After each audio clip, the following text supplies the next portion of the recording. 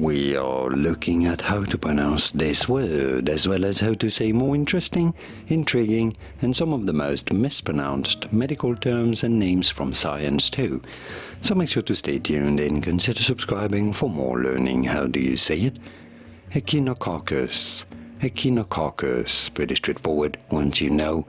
Echinococcus. And now you know.